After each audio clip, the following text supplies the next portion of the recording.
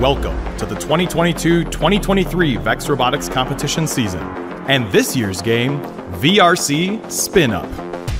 VRC Spin Up is a head-to-head game that is played by two alliances, one red and one blue, made up of two teams each.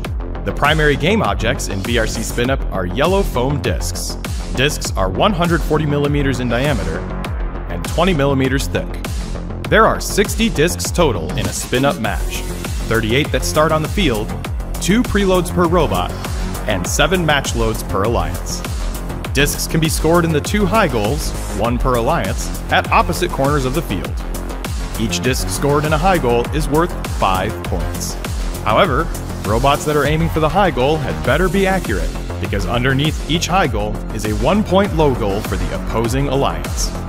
In addition to launching discs, robots can also spin the four rollers mounted to the field perimeter. Rollers are 250 millimeters long and 60 millimeters in diameter.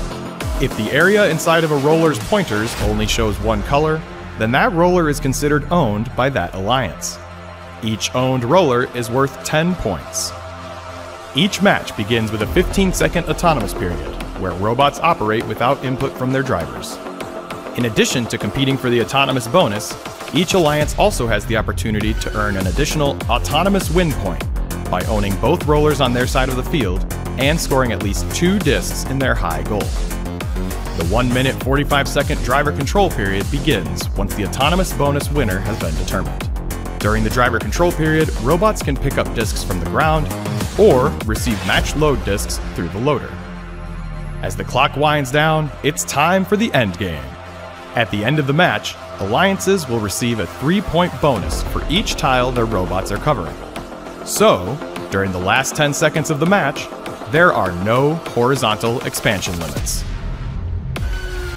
VRC Spin Up can also be played in Robot Skills Challenges, where one team competes against the clock, the collegiate level VEX U competition, where teams design two robots using advanced materials, and the VEX AI competition, a completely autonomous competition using industry level machine learning technologies.